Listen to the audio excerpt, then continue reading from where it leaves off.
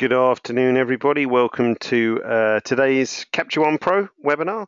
Uh, today we have a very special guest, which is uh, Richard Thompson, um, automotive photographer of many exotic cars and various other things. Uh, we're going to hear from Richard uh, very shortly. Um, if this is your webinar, uh, sorry, your first webinar, and you don't know who you're listening to, uh, my name is David. I'm part of the software marketing team based out of Copenhagen in Denmark. Just so you know how the webinars run, if you again haven't attended one before, we have uh, 60 minutes uh, with each other, basically. Uh, you're very welcome and encouraged to uh, ask questions throughout. Uh, the way you do that, if you're on your Mac or PC, if you look at the very bottom of your GoToWebinar uh, control panel, uh, then you'll see a section called questions. You can put a question in there and it will come straight through to myself and I can feed those onto Richard. If you're on your iOS device or Android device, uh, equally, you'll see a question mark icon. You can tap that, put your question in again, and it will come uh, straight through to me. I am recording the session as well, so if you do want to um, watch again at your leisure, you're more than welcome. Uh, the recording goes on our YouTube playlist, and details of the location of that playlist will come to you in a follow up email in a couple of days' time.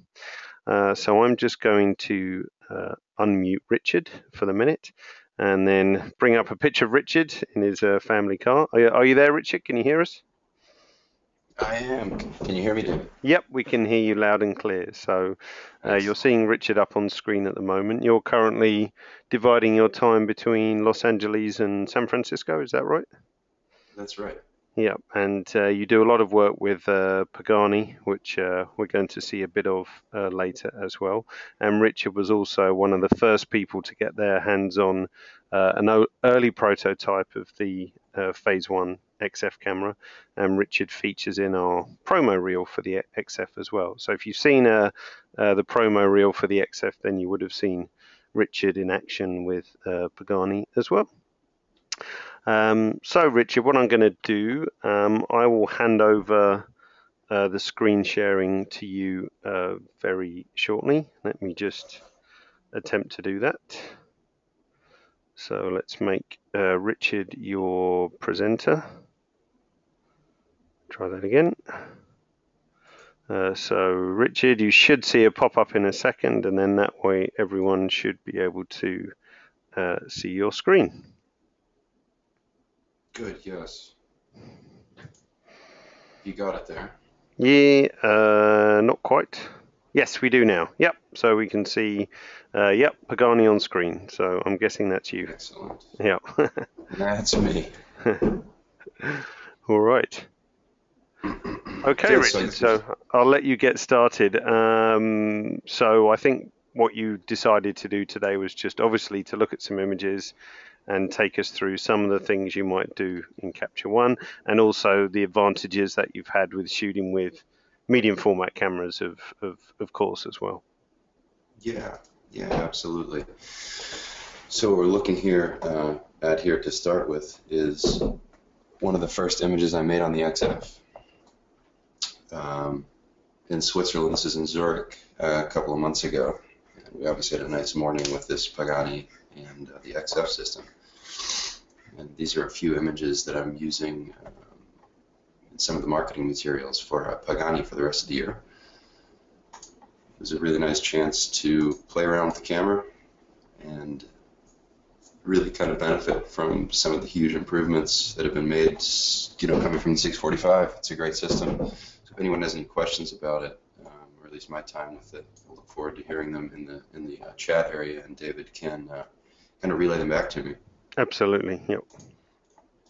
In the meantime, I'm going to walk through a little bit of post on such an image uh, as this, which, hold on a second, I got to close some of these webinar. Uh, yeah, there we go. All right. So here we are looking at a picture of the uh, Pagani Huayra in uh, Zurich a little after sunrise. And I really like this image because uh, of the formatting and how small the car is. It gives me lots of crop room on any side. Um, to work in some different formats that I might need to for, you know, print or social media. I can get a nice square out of this. I can make a nice banner out of this. But there's some areas of shadow and highlight detail that I'm going to try to recover here. And what I'm going to walk through is kind of try to focus in on the car and um, even out the exposure in a way that kind of draws the eye in more on the car. So I'm going to start by just making some basic adjustments to the uh, shadows and highlight regions here on the uh, dynamic range control panel. And you can see immediately a little bit of shadow detail is pulling out. Uh, great detail on the wheels, a lot of these structures on the lower part of the car which are uh, kind of masked in shadow otherwise. And maybe just a little bit of highlights. There's not too much to be recovered there. I'm going to add some contrast maybe not that much. And that looks to me like a pretty good value on the car for exposure level. So uh, I'm going to make some local adjustments and draw exposure in more on the car, starting with a graduated filter up from the bottom. Just bringing in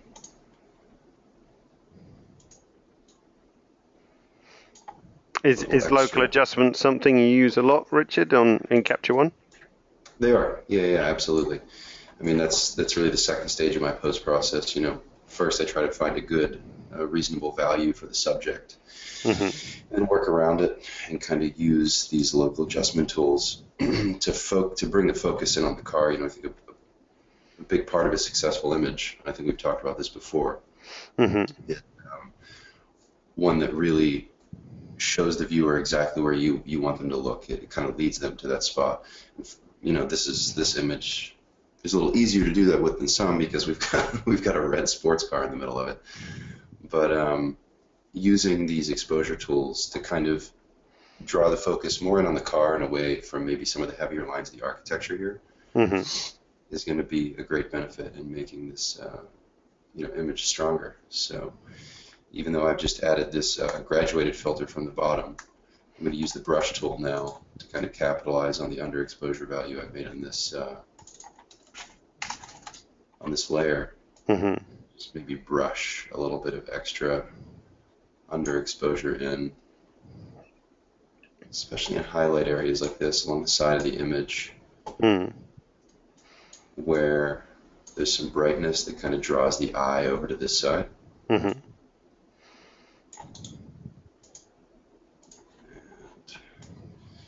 kind of a softer approach means I can be a little more carefree with the brush and not so precise, and then come back later and kind of remove or redact what I don't like. Yeah, I think that's that's a good technique for those of you who maybe haven't used local adjustments before or who have used them. Um, then quite often the opacity sort of slider gets ignored, um, but it's a really good way to just make your uh, adjustments a bit more subtle, and the fact that you can go over and over each of uh, the sort of areas of the image over and over and again to build up the uh, to build up the uh, adjustment. Um, so if you haven't tried varying the opacity on the brush, do so. It, it, makes the effect so much more subtle and gives you a lot more control. Yeah, it's easy to get caught up uh, in these effects because these these camera systems, you know, the medium format digital systems, just offer you so much latitude Hmm. It's easy to get carried away with these things, but um, I usually find by looking at how I see the image and then maybe just turning it down 15% or 20% away from uh, yeah. what I started with, I end up with something that I'm really quite happy with. Yeah, so, and while, while you were talking, I've also just made an overexposure layer and set it up about uh, one one stop over. And uh, I'm going to kind of brush a little bit of detail also with a very low opacity level to the wheels and some of the shadow area on the side of the car. You can see here what we're getting for that. Just a tiny little bit of pop on the side of the car. I think it looks pretty nice. Mm-hmm. And also here's our underexposure layer, which I think is a little bit more dramatic. And definitely as we turn it on and off, you can see it's creating a lot more focus on the car without really doing very much. Um, so you don't need to get carried away with these things to uh, you know, to um, get the whole effect. Grant was asking, what, what are we looking at at the bottom of uh, bottom of the image? At the bottom of the image here, the Yeah. lower, uh, Yeah, the lower image third. is- Yep. So this is being shot through uh, a cafe window. Ah, uh, okay. You're seeing a marble countertop, which is probably used to, I don't know, take reservations for the cafe when the cafe's open. But we were there very early in the morning, and uh, Zurich was still kind of asleep. Right. Not many people on the streets at that point. Yeah, yeah, yeah. This is just a countertop there, Grant. So this is the kind of image where I don't really think a lot of a lot of additional things need to be done. Um, it was kind of nice as it sat, and uh, see another one in this folder which has been adjusted in a slightly different direction. It looks like a cooler, a cooler tone. This is a wider uh, sort of view of the same image hmm that will enable me to get sort of a, a, narrower crop, something more like you would see uh, as a banner image on, on the internet or anamorphic uh, film crop or something like that. Do you, do you have a lot of work to do in color matching with the with the cars? Is Pagani very particular about that, or is is that something Um, that comes yes, out pretty Pagani, good? of course. Pagani is a very particular company, as you can probably tell by looking at the car. Yep. And we do have, you know, issues like that. And of course, the easiest way to, to deal with such issues in Capture One would be to simply, um, you know, copy the settings of one image, which you can do very easily by selecting that image and then coming up here to the Copy Adjustments uh, button, and then clicking another image and uh, simply applying those last adjustments. So now you can see this image is bearing the same adjustments. You can see. Uh, one of my Italian colleagues here looking for instructions. Hi, Luca. Waiting for me to tell him something with the camera. But yeah, you can also apply many adjustments um, across a bunch of images. So if I copy these settings again, and I went down and just pulled, you know, a bunch of frames in this area, if I select them all, uh, or even a few, and then hold down Shift and hit this uh, this key again, we're going to get those settings applied to a, whole batch of images. So Mhm. if there is a need to match some colors on a car and so on, it's a pretty rapid uh, way to uh, make your adjustments. Mhm, mhm. Yeah. Great. Yeah, we had a really good time on this trip with the XF. Um, there's a lot of great images that came out of this, which are still being released by Pagani. So at the moment, all I can really show you is a bunch of thumbnails. But let's see if I can't find a few more that we can look at. Let's see here. I can show you at least some finals. Mhm. Here's a nice one. Pretty fond of this. We had a nice trip through the snow in the car, and uh, with one of the very talented uh, test drivers from our factory in San Cesario. Made some images of the car up in the snow. You can see here a really good detail level with the phase system. This is an IQ 250 back. Mhm. Uh, not just for studio stuff. There's loads of detail here. It's kind of kind of intriguing to look at. All of this snow detail Mhm. getting caught. Ah, that looks great to me. I'm a sucker for stuff like this. Yeah, the phase is a real eye candy machine for shots like this. So. This one as well. Some great detail. Yeah, anyway, you'll see more of that stuff online soon. Yep.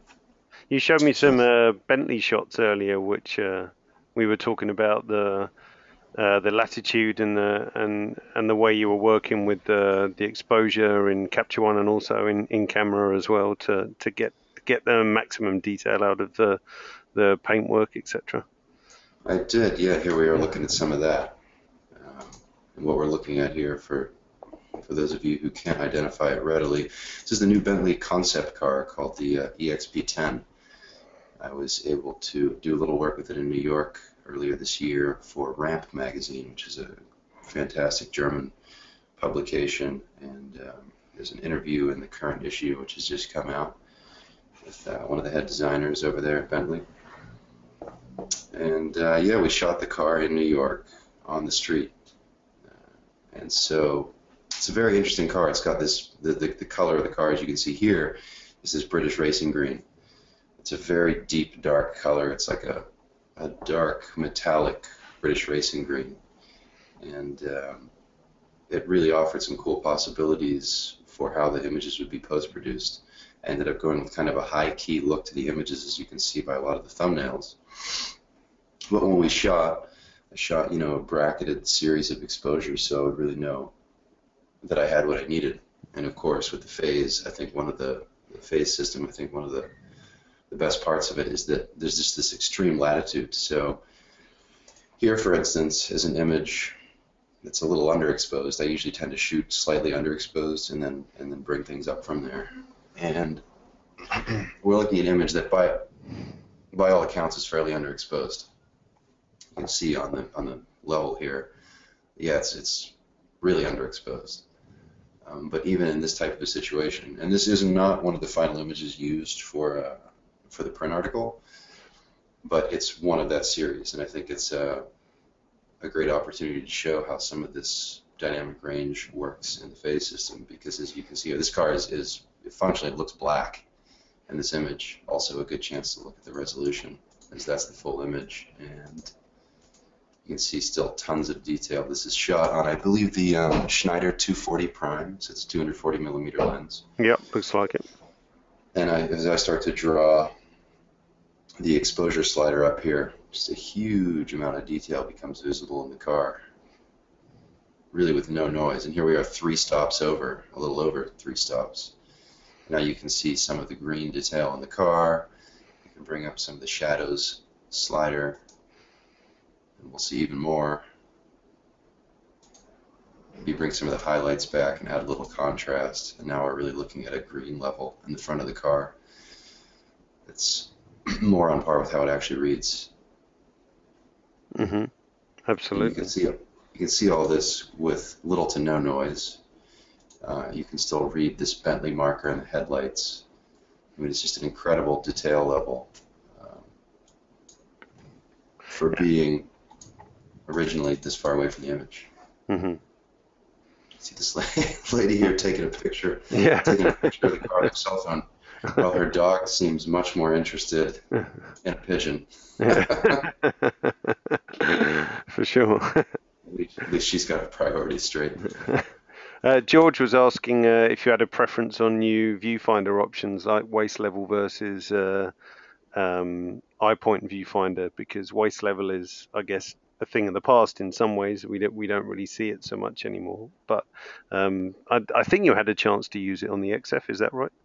I did have a chance to use it. It's fascinating. You know, Mm. that's exactly right, George. We don't have a chance to to use things like that anymore. So the first time anybody offers me a chance to use some something like that, it's always kind of uh, novel and amusing to use a new thing.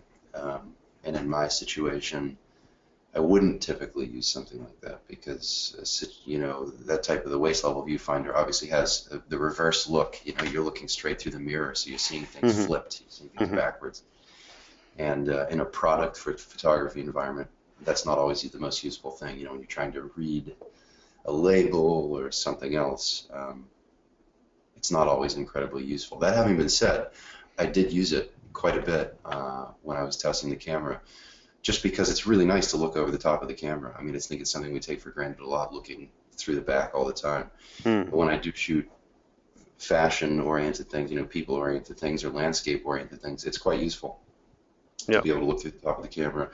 I think anyone who's shooting on the street, um, it's very convenient. A to be able to look down. It's it's a nice posture, and B also in candid environments, it's nice not to have the subject always know that you're looking at them. Mhm. So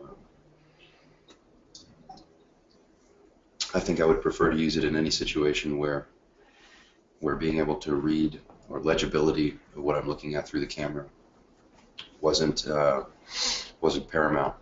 It also has a really nice um, quality for fixing focus. You know, as these camera backs continue to get higher and higher resolution, uh, it's more and more difficult to really read focus Hmm.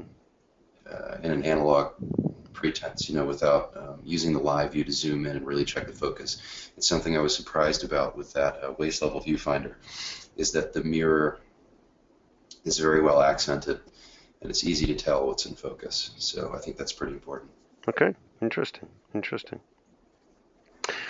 Um, yeah, Murray was saying waist level finder is a great old school for low level shots because I think on the XF video there's a shot of you shooting a car interior with the with the camera pretty low down on the tripod and, and being able to compose without crouching down always makes a difference as well, doesn't it? Exactly, yeah, and that's another that's another great point. Um, you know, the only other way to do that with a phase system, even one generation ago, would have been to plug in a laptop and look at the laptop. Mm-hmm. And now you can just look straight down through the top of the camera. It's really nice. And as just a as a as a as a camera lover in general, I love the sound of the, the medium format mirror. Mm-hmm. And, uh, with the top of the camera a little more open, mm-hmm. using that viewfinder. Um, it's a small point. It's not really a point that you would buy a camera accessory on. But I love the sound of the mirror. Much, it's much louder through the uh, waist level viewfinder. Sure, sure. It just makes a really good sound. Yeah, feels great sure. in your hands. and speaking of, of, feeling great, and great in your hands, it's something I wanted to mention. Hmm.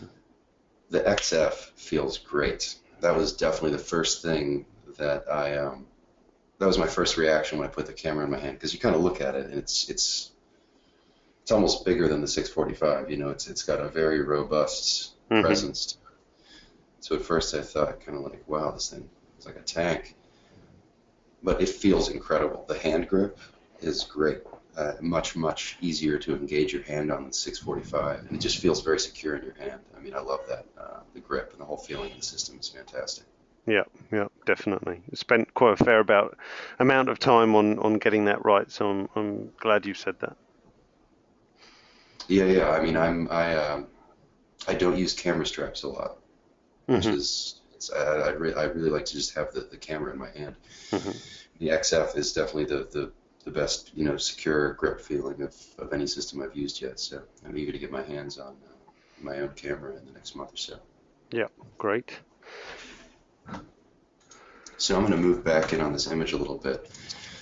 Oh, not that much. and maybe do a little bit of local adjustments to the front of the car here. Mm-hmm. Add an overexposure layer. Maybe just start with this up about a stop. Paint in some exposure to try and bring back a little bit more of the green on the front of the car.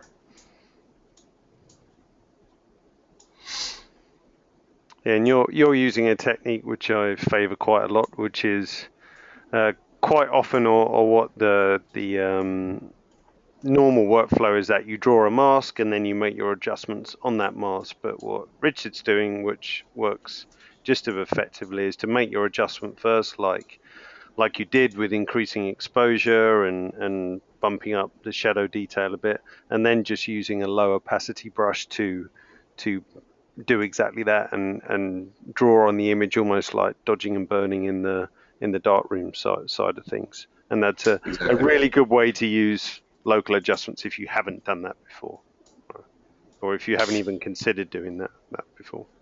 Yeah, I think it's one of the strongest points of the software now, um, especially since 8.0. The highlights and shadows recovery tools have, have really gained quality and effectiveness for specific uses like this. Yeah. And um, in my experience, Capture One continues to be the best way to get a good result out of a raw file. Mm-hmm. So even if I'm going into another piece of software to make specific selections around a product or something like that, it always begins and runs through the middle of the post process for me in Capture One. Mm-hmm. Yeah, for sure, for sure. So continuing here to just refine some of this overexposure to bring out highlights and reflections in the side. Mm-hmm. A lot of the shoot had to do with um, showing the car in the context of a business environment. So here we're in um, in the financial district in uh, in Manhattan, not so far from Wall Street. Mm-hmm. And uh, you can see tons of reflections pouring off the, the car of all these business buildings and everything around it. And I'm mm-hmm. working to accent some of those really. Uh, Tony was asking, is, isn't this something that you would pick up and do in Photoshop, like the selective, uh, like the adjusting the, the tonal range as you're as you're doing now, or why why pick it up in Capture One? Um, Tony, yeah, you could you could do it in Photoshop, and certainly I did it for a long time in Photoshop. Um, and you know, there's a comfort level built into Adobe Suite because I'm sure we've all used it for years and years. I have anyway used it for for more than half my life. But uh, what I found about Phase One software is that they pay the most attention to detail to raw data interpretation, interpolation, however you want to say it. Um, the Adobe software set is great. They have really, you know, power controls for getting in and doing something very specific, which is really relevant for product guys like myself or people who shoot drinks or mm-hmm. whatever. But I have not found a company that does a better job of interpreting the file off of the raw file off of the camera. As you know, a raw file is not an assembled image. It's a, you know, a JPEG image is described in the file as put this color here at this pixel site. This is the color. Mm-hmm. At this pixel site, this is the color. And in a raw file, that's just not the way it goes. It's much more open to a software interpretation. And if you do a very simple, you know, I would encourage you to open up Photoshop and open up Capture One and just bounce uh, a raw file out as a TIFF, as a 16-bit TIFF, especially if it involves warm tones, skin tone, reds, oranges, things like that. You'll be shocked at the difference about how much more accurate, um, how much more accurately Capture One can describe that kind of detail. And it's gotten to the point for me where I just run the first half of my process through Capture One because I never get the same result than if I run it just through Adobe. I may better get a better specific final result once the image is 70 or 80 percent done in selecting a wheel or making some very controlled adjustment because there are some mm-hmm. tools that one just doesn't have, like making really refined selections of sure, sure.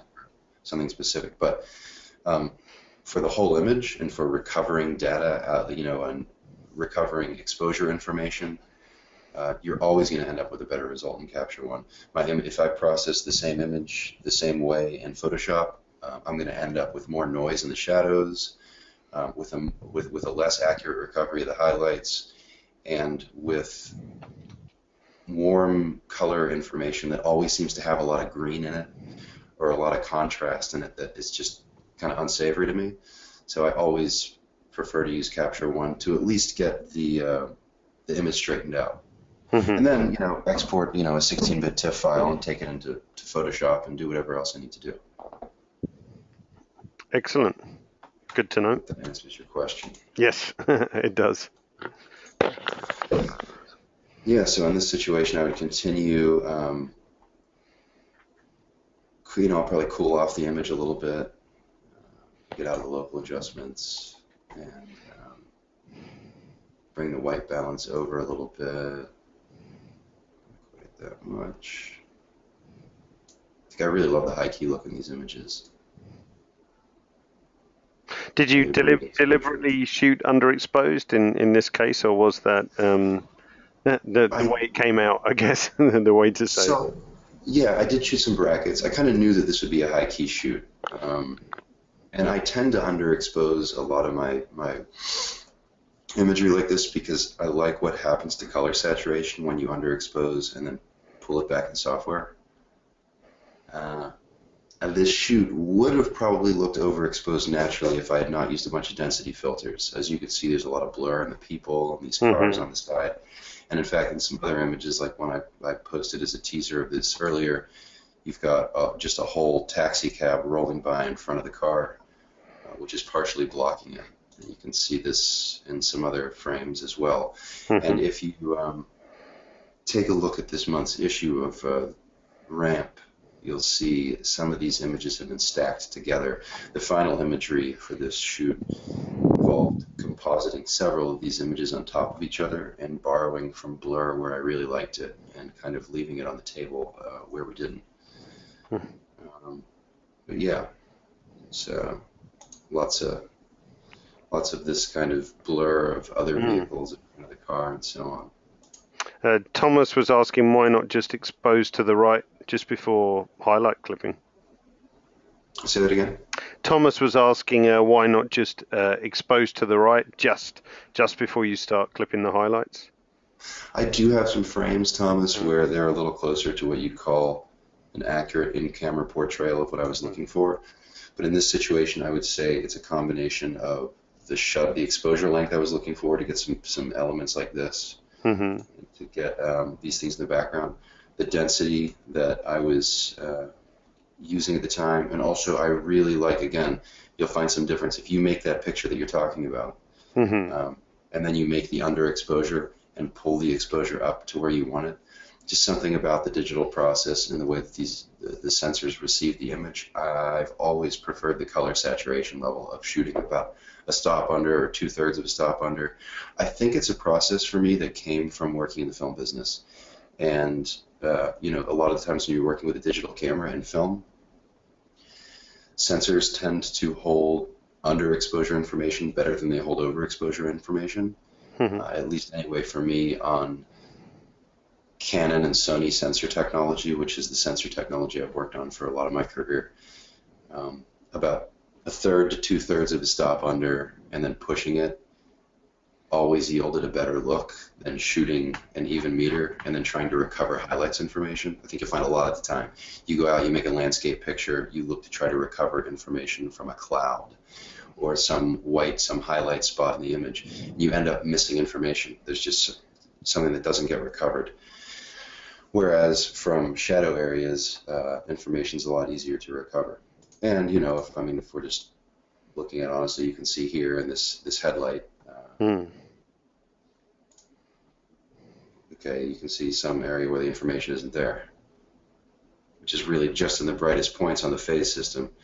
Um, if we were really going to describe this effect, it would probably be better to use a, a regular uh, 35 millimeter uh, DSLR because those things don't have this kind of latitude. Hmm. But if I really if I really pull this up to like an extreme level, you can see massive amounts of detail, even at absolute at the absolute black point underneath these slicks on the car, and there's just virtually no noise.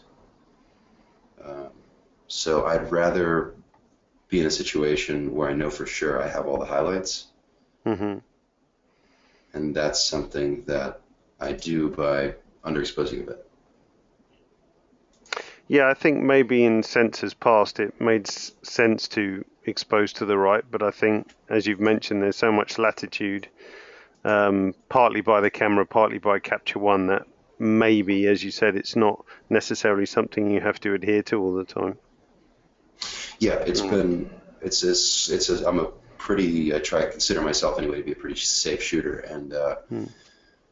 so always bracketing and uh, taking consideration for things like this, especially if we have a, a clear path um, or visualization of uh, what the post production is going to be down the line.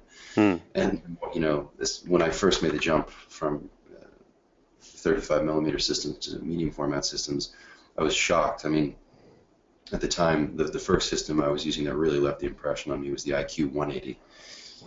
And uh, you normally go in, I would go into a, a 35 millimeter system, you know, pretty liberally, plus or minus three stops on brackets. I mean, that's that's a pretty great distance for brackets. Hmm. And so I would I would bracket on the IQ 180 that way.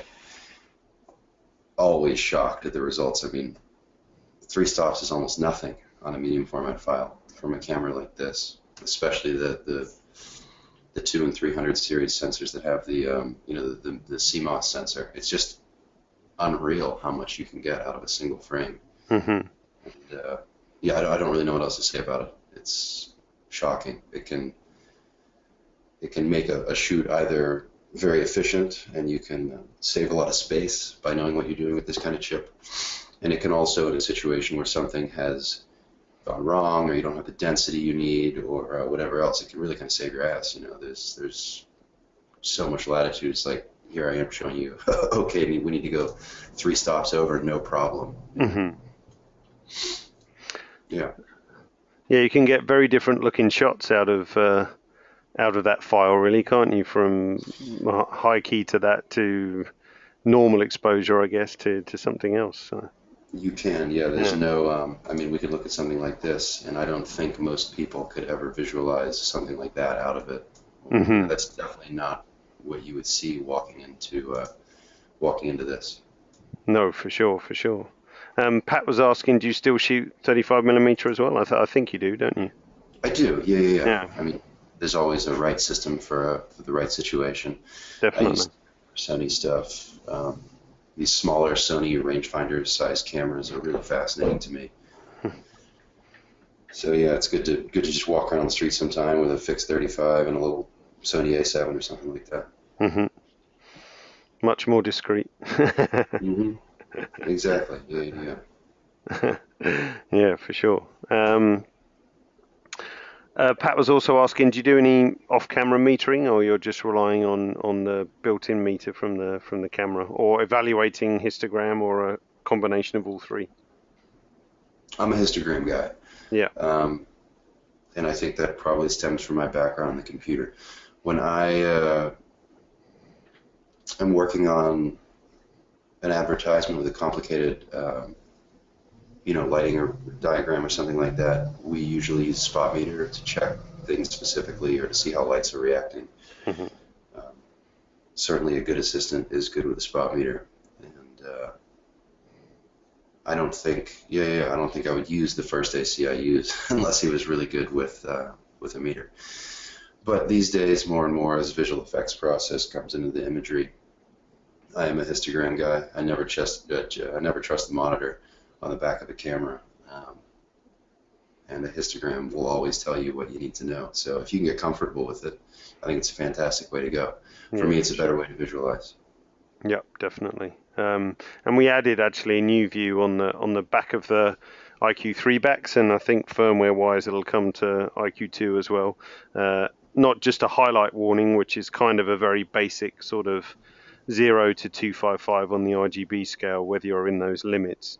But Capture One and the raw data can recover a lot more, so we can actually show a warning on the back when you're outside of what Capture One can recover. So that gives you a really good view of uh, what's possible to recover in software, even if you're technically overexposed. Uh, so that's probably something you didn't get to use, Richard, because that was later on in firmware development. But that's that was in the, the final version of the the new IQ3 stuff. Yeah, I have not used Hmm. that. I'm looking forward to it. Yeah, it's- that will make it to the uh, two series, you think? yeah, I, th- I think so. I think that's that's the plan if it's if it's possible. Yes, yes. Excellent. Hmm. Excellent. Do we have any other uh, questions at the moment? Otherwise, I can move on to some other images. Yeah, Grant was just asking. Um, uh, the latitude seems to be very uh, flexible. Is there anything else you've used that that compares with it? Not at all. No, Grant. This is, uh, you know, I would say the latitude of the phase medium format system is in multiples about as different as the size of the sensor. I mean, you really get twice the latitude of uh, of a 35 system. I, I mean, you know, I'm sure there's tons of people who come in and debate me on that point and, Hmm. and uh, give you a bunch of numbers and say, well, this number is this, and if you use this noise reduction software, then that.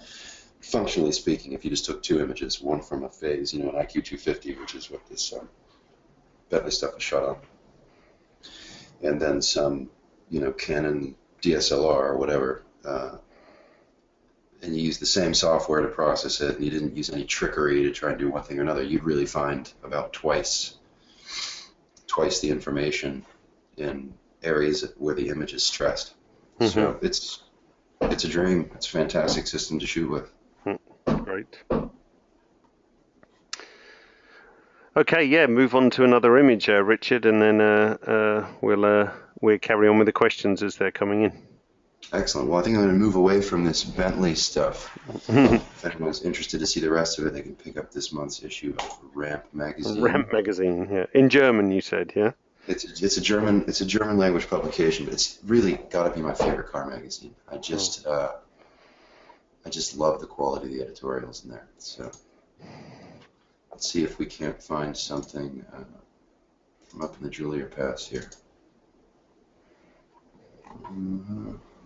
So, incomplete imagery there. I think the final of that is the image which is in the uh, phase, um, the video for uh, Mhm. the XF, The XF, yep. Which is a light painted video of the interior of this car. Let's see if it's in this export folder. Indeed, it is not.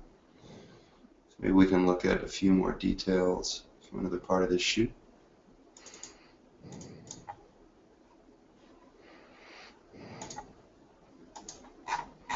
Sort by rating. Mhm. Let's see here.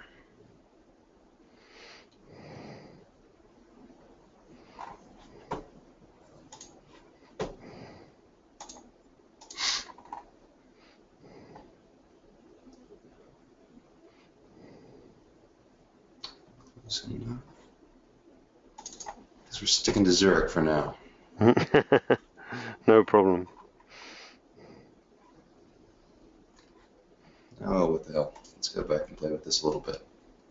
So this uh, is part of the series of images that was composited together for the, the frame that's seen on the uh, in the phase video, and you can see here actually some of the light painting elements at the top, which is an ice light being used to paint in some of the interior of the car. It's another good opportunity to look at, um, you know, uh, highlight and shadow underexposure information. The inside of the car is this beautiful anodized aluminum uh, Hmm. finish. Mm. It's all machined out of you know kind of the same block, but you can see tons of highlight information, which um, looks great, but offers tons of contrast and another great opportunity to see what kind of dynamic range we have here. Mm. So that was what a long exposure and then light painting with with uh, ice light you mentioned, didn't you? Exactly. Yeah. Yeah. I think what we're looking here is probably about a 25 or 30 second exposure Okay. and tons of detail information. As you can see, all the all the weave of the carbon coming out with virtually no noise. Um, I'm not sure if you're seeing seeing quite as sharply as I am over the, the web broadcast, but you can just see every little bit of this. hmm No, it's pretty good quality. We get you get some additional sort of noise or posterization from the the webcast, but sharpness wise, you can you, you get the impression. That's for sure. Here, this should be a moment of truth area when I pull the slider down. I didn't check this beforehand, but we'll really see how much highlight we've captured in this Hmm. uh, area around the ignition system. So we're, we're almost four stops over right now.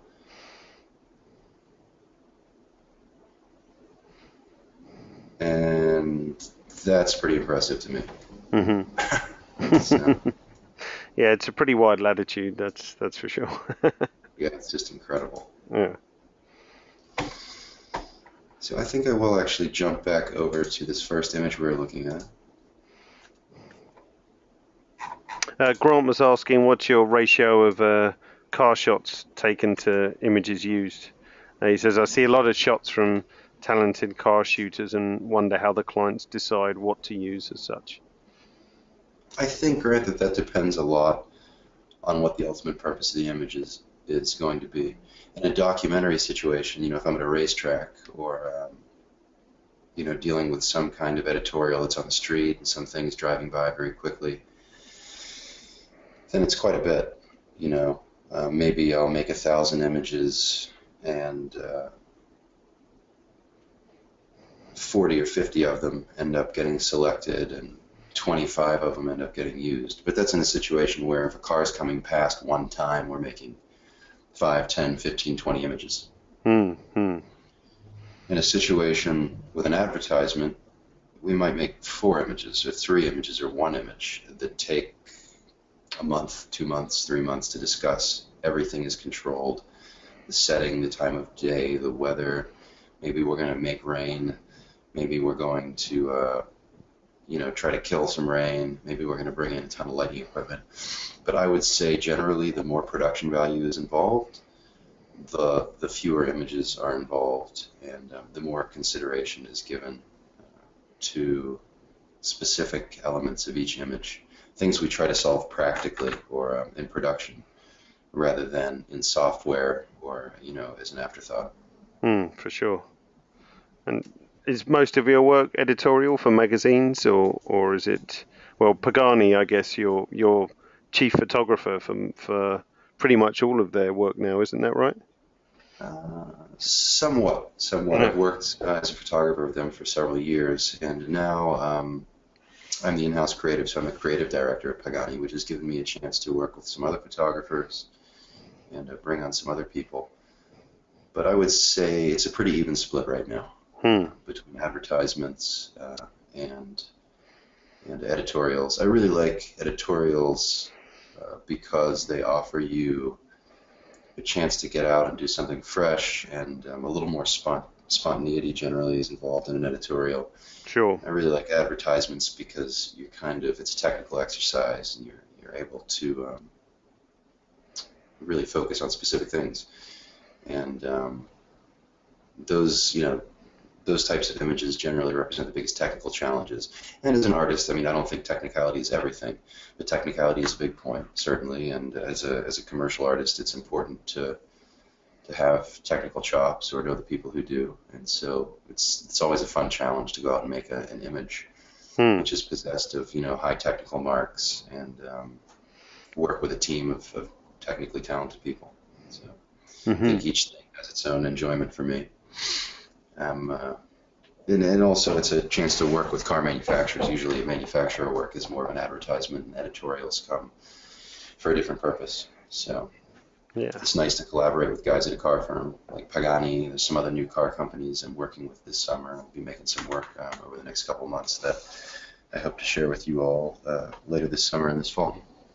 Well, I guess out of all the car companies you could work with, Pagani's not really a bad place to start, is it? So, Not, not a bad place to start or finish. You know, there's, I mean, for me, it's the best car in the world, and Yeah. um, the reason for that is that Pagani focuses on details, and um, the brand is about finesse, and it's about materials quality, and it's about producing a product at the highest marks, mhm. um, which are the exact same reasons that I have admiration and love for Phase One and their products. Um, it was great to shoot the the Huayra, the Pagani Huayra, and um, use the XF to do it. Uh, I think anyone who's put their hands on the XF knows what I'm about to say already. It's just the, the materials quality of the camera is amazing. Mhm. Um, it's, as you know, David, milled out of the same type of metal as the, as the backs are. Just Yep. feels really good. It's definitely the camera, the camera to work with a Pagani for sure. Uh, Pat was asking how how do you see the future of, of your work with Phase One camera systems? Hopefully, I see the future of my work with Phase One systems for a very long time. I can't Mhm. imagine, uh, you know, I, I think shooting on any other system uh, would be kind of a step backwards. Uh, it doesn't really make sense for me, anyways.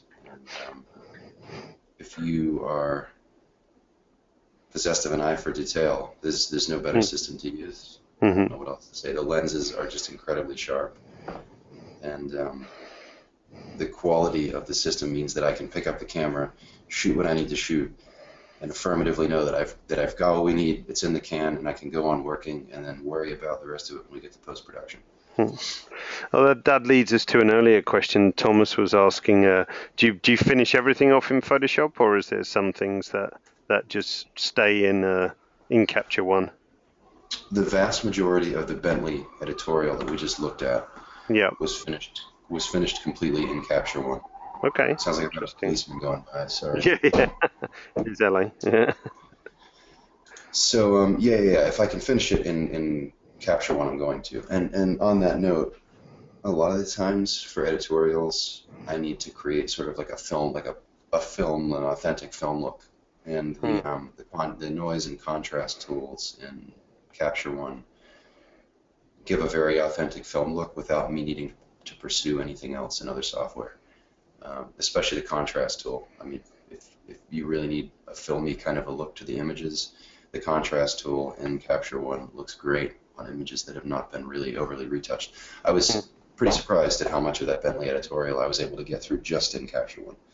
Mhm. Um, if it's something that a lot of specific work needs to be done on, if it's an advertisement, you know, if I were working with the guys at Brembo and Pirelli on this image and they said we really need to see the wheels and the brakes and the tires more, then I would probably take it into the Adobe Suite and make very specific selections around the Pirelli logos on the tires and the Brembo logos on the uh, brake calipers and so on, and um, work from there.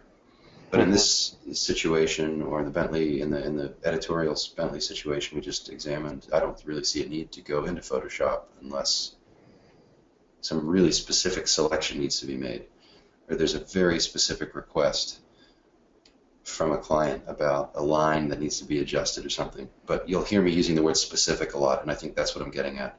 Hmm. If it's a very specific concern, then I'll go into Photoshop because the photo the, the Photoshop feature set is about specifics for me. Mm-hmm. If I'm trying to get an authentic look, or I'm trying to do something rapid, or I'm just trying to get the most accurate result, that's always going to be Capture One for me. Mm-hmm. Uh, Jan was asking, have you tried the new uh, 35 millimeter and uh, the 120 millimeter? I don't know if they were available when you were uh, testing the XF. They were not, and I would love to. Um, I can tell you, Jan, that uh, my experience with the the only telephoto phase experience I have is with the 240. The 240 is just one of my favorite lenses. I mean, hmm. it's it's a large lens, it's a little cumbersome. Um, it is tack sharp. I mean, it is the most beautiful piece of tele, telephoto glass I've ever used. I love that thing. So I'd love to use the 120 sometime soon. And I use I use a 110 a lot, the Schneider 110. Mm-hmm. Um, Pat was asking, do you enjoy finishing the work off, off yourself? Do you enjoy the post processing part, or it's the necessary evil as such? I don't think about it as evil at all, Pat. I mean, mm. that's for me. That's uh, a big part of the process. You know, I've made the first half of the image.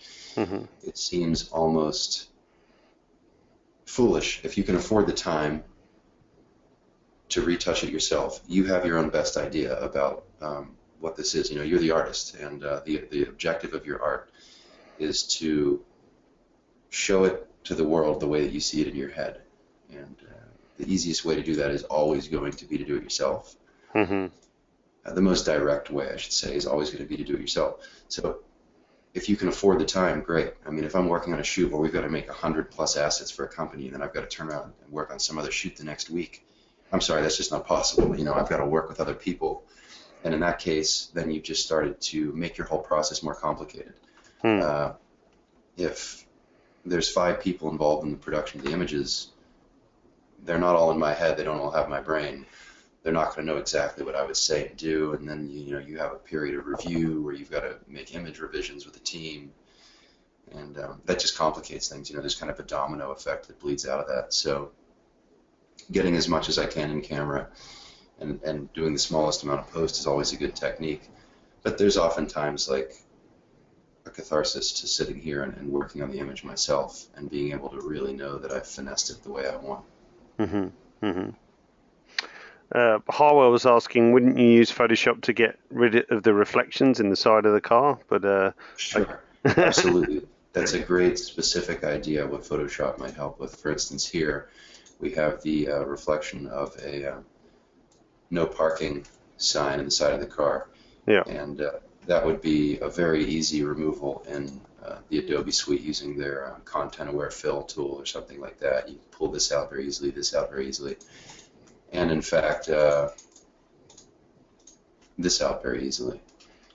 In fact, if we look at the uh, final version of this image, mm-hmm. or the, the final version of the image from this series,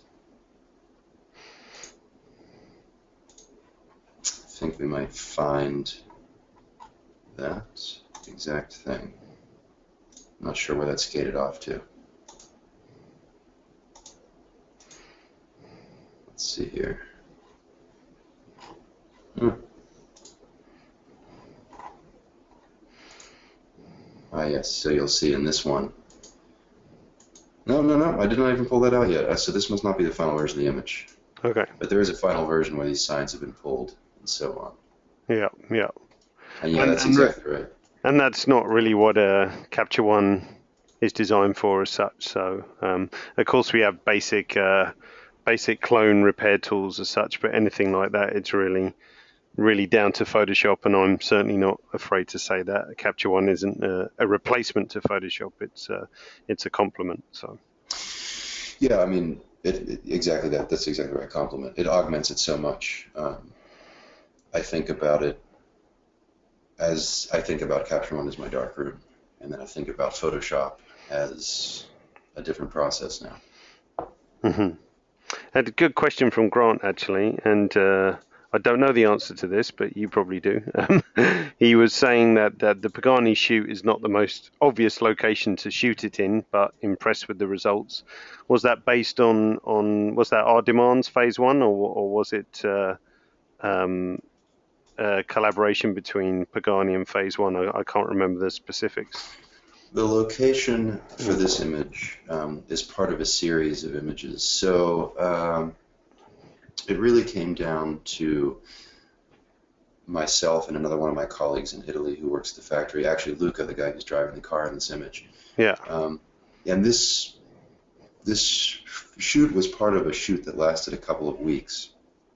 As you may know, Grant, the engines in the Pagani product come from Mercedes AMG, and um, this project was a project that I engaged with because it's sort of like the story of Pagani. It's like a it's like a kind of editorial on steroids where we went from Affalterbach in Germany outside of Stuttgart where the engines are made, and we drove the car from uh, the AMG facility in Stuttgart uh, to the Pagani factory in San Cesario sul Panaro in Italy, which is uh, you know where the cars are finally assembled and we took a route through uh, Europe that kind of described, um, I don't know, for me, like typical European characters. So we drove through Zurich and then up through the Alps on the way back to our factory in San Cesario.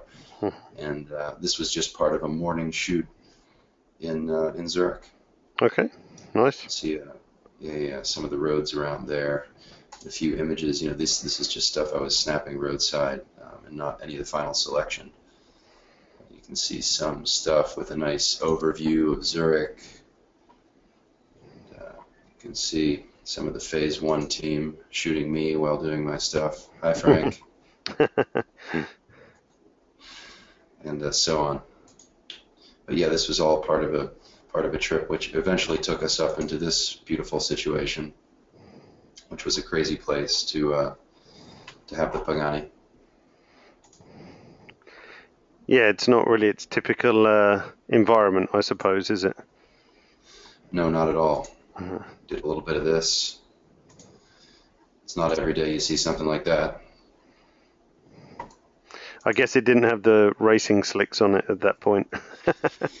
it did not have the slicks on. I have done a little bit of time in a, in a Huayra on slicks in the snow, but um, we use a, a Pirelli tire called Sotto Zero, which is the um, the winter all-weather tire from from Pirelli.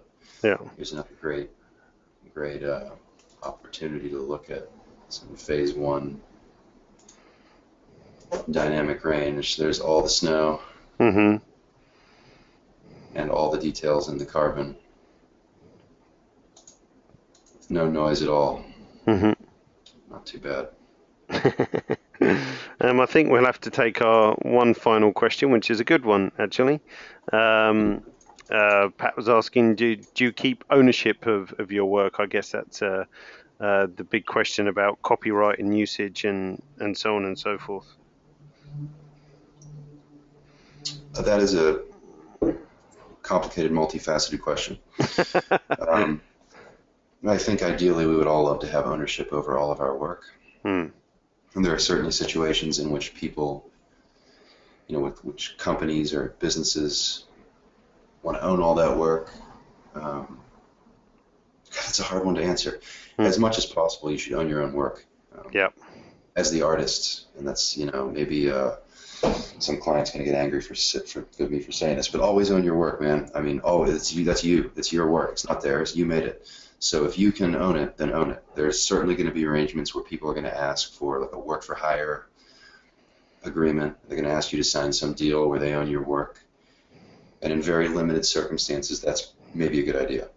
Such circumstances would be a career-altering shooting opportunity. You know, for instance, if NASA offered me the opportunity to go into outer space and take a, pic- a picture, I would say, "Great, own it. You get me to space, I'm fine with that."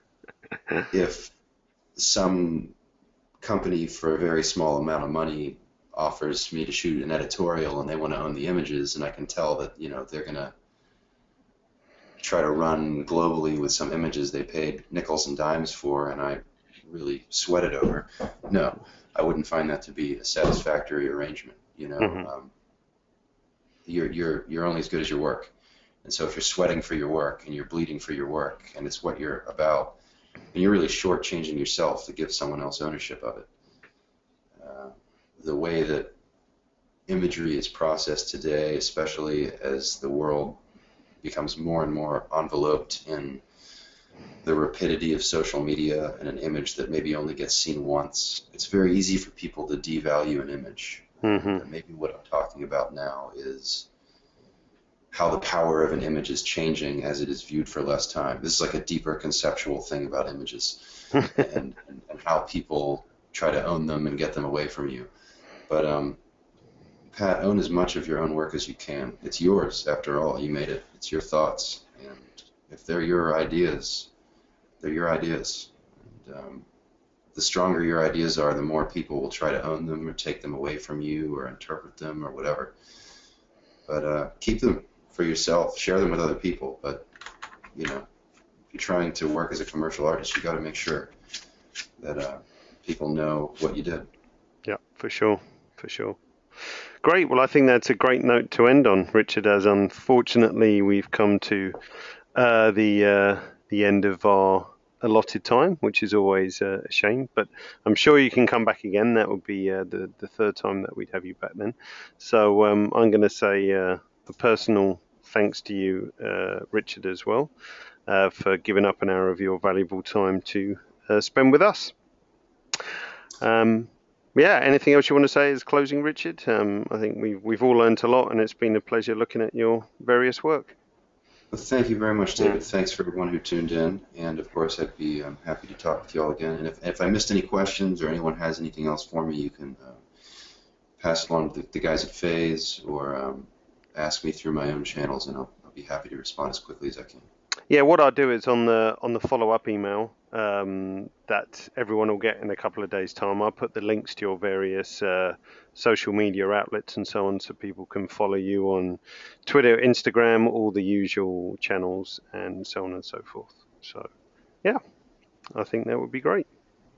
Cheers, So look- David. Thank you. Look out for that, and uh, you'll also get the link to the the recording, so you can watch uh, Richard uh, again if you wish. I'm just going to steal the uh, presentation rights back off you, Richard, just Mhm. for no uh, other reason that I will just put up the pretty uh, ending slide and say thank you to everyone else once more, and uh, hope to see you all again soon. Thanks, Richard. Take care. Cheers, Cheers. Bye now.